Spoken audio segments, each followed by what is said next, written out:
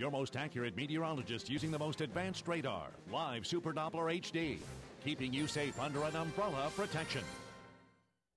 Welcome back, everyone. I hope you're having a wonderful Wednesday. It is a beauty out there. Absolutely gorgeous conditions across the state. We're already at 67 degrees. Wind's not too bad. Variable right now at 6. Humidity just 28%. Very dry atmosphere. Pressure presently falling. Pocahontas 67 degrees, 64 Webster City, Ogden 67, 67 in Sheridan, Corning 64 degrees, 63 in Audubon. Everybody in the 60s out there.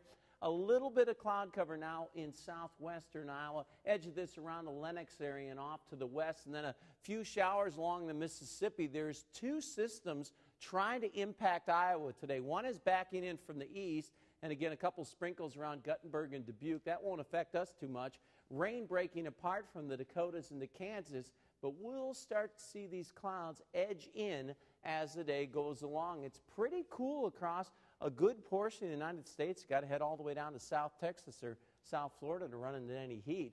50s today. These are the highs. Rapid City, North Platte, 76 down in Dodge City, Kansas City, 65, 70 St. Louis, just 59 in Chicago, 59 in Green Bay. Below normal temperatures out there. We'll start to see those clouds increase, and then here comes our rain chances with this area of low pressure. It's going to take a little time to get here, and it's going to take a little time to overcome the dry air that's in place. So here's our latest futurecast. Your timeline, 3 o'clock this afternoon.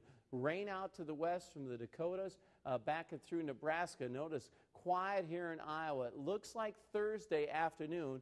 Rain develops in Nebraska, and I think some of this will edge into western Iowa by Thursday night.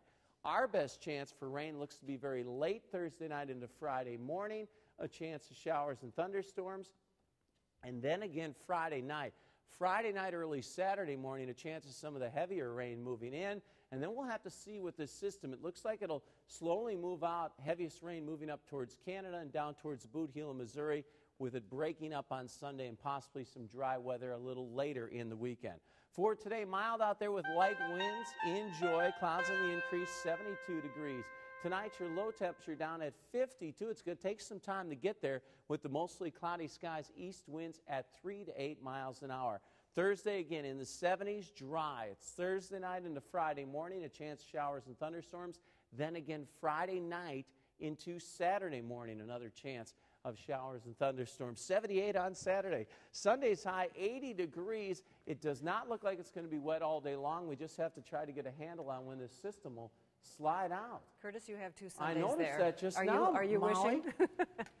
okay, well, that's all Why right. not? Sunday's a gorgeous I'd day. have, yeah. you know what? At least Look- they're weekends. At least it's not two Mondays. Yeah, so we'll, well, there that. you go. Okay. I'm, I'm just trying to fix things for you. We're going to enjoy a double double bonus Sunday out there. There Overall, though, the temperature's easing on up.